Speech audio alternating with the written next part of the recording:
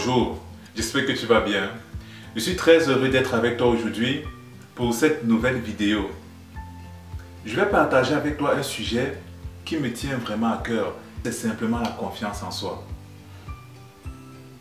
Tu trouveras autour de toi beaucoup de livres qui traitent de ce sujet, sur internet beaucoup d'articles et beaucoup de vidéos qui en parlent et qui donnent des conseils très intéressants là-dessus.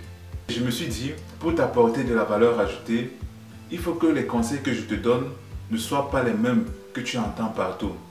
Aujourd'hui, beaucoup de gens disent je manque de confiance en moi ou bien je veux devenir plus confiant. Mais quand tu leur poses la question, finalement, selon toi, c'est quoi la définition de la confiance en soi? C'est quoi, selon toi, une personne confiante? À ce moment-là, elles hésitent énormément avant de répondre elles ne réussissent pas à te donner une réponse. Et c'est là que se situe le problème. Tu ne peux pas aspirer à devenir quelque chose sans savoir précisément ce que c'est. Quand tu étais plus jeune et qu'on te demandait qu'est-ce que tu veux devenir plus tard, tu disais par exemple je veux devenir un ingénieur. C'est parce que dans ton esprit d'enfant, tu avais déjà une idée de ce que c'est qu'un ingénieur, tu avais déjà une idée de ce que fait un ingénieur. Et c'est la même chose pour la confiance en soi. Si tu veux développer ta confiance en toi, tu dois déjà avoir une idée précise de ce que c'est. Et c'est de là que va découler mon premier conseil. Le premier conseil que je te donne, c'est prends une feuille de papier et prends un stylo.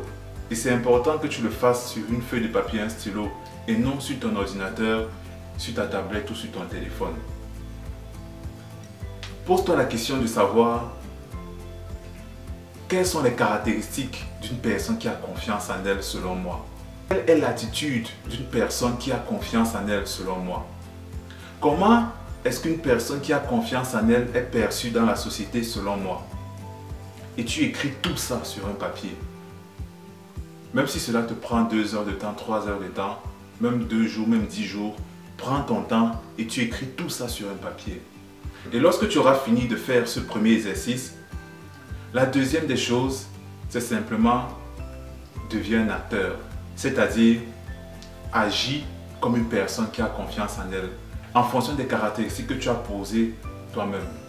Chaque matin, quand tu te réveilles, avant de sortir de chez toi, prends ce papier, tu le lis et tu te donnes pour mot d'ordre, je vais agir aujourd'hui exactement comme cette personne confiante que moi-même j'ai définie. Et tu adoptes cette attitude tu le fais d'abord pendant trois jours et puis tu observes le changement. Même si tu ne vois pas de changement, tu continues les trois jours suivants. Ainsi de suite, ainsi de suite. Et tu verras toi-même comment tu vas commencer à développer ta confiance en toi. Et tu dois savoir que agir ainsi va te pousser à sortir de ta zone de confort. Et c'est ça qui est très important et très intéressant aussi. Parce que la confiance en soi, généralement ne se développe que lorsque nous sortons de notre zone de confort ou lorsque nous augmentons notre zone de confort. Et pour augmenter ta zone de confort, tu dois d'abord sortir de ta zone de confort précédente et puis l'augmenter pour te sentir confortable dans une zone où tu étais d'abord inconfortable. Et c'est là que la confiance en soi se développe. Et tu dois agir ainsi dans tous les domaines de ta vie que ce soit dans ta vie familiale, professionnelle, amoureuse, dans tous les domaines de ta vie, tu dois adopter l'attitude qui, selon toi, est celle d'une personne confiante. Et je t'assure qu'en écoutant ces deux conseils et en les pratiquant, tu verras comment, au bout de cinq mois, au bout de six mois, ta confiance en toi aura fait un grand bond en avant. Et quand tu te sentiras inconfortable et que tu vas persévérer, que l'évolution va arriver. Alors, je te dis, ça ne sera pas un chemin très agréable, mais très indispensable pour évoluer et pour développer ta confiance en toi. Alors, nous sommes arrivés à la fin de cette vidéo. Mais celle-ci ne te sera pas utile si tu ne la pratiques pas. Si tu ne pratiques pas les conseils que je t'ai donnés. Si tu veux, revois cette vidéo autant de fois possible. Mais l'essentiel et le plus important, c'est que tu passes massivement à l'action passe massivement à l'action. Alors, comme on s'est dit dans les vidéos précédentes, notre mot d'ordre, c'est écouter, pratiquer et partager. c'est important de partager en cliquant sur le bouton partager ou en envoyant cette vidéo à quelqu'un.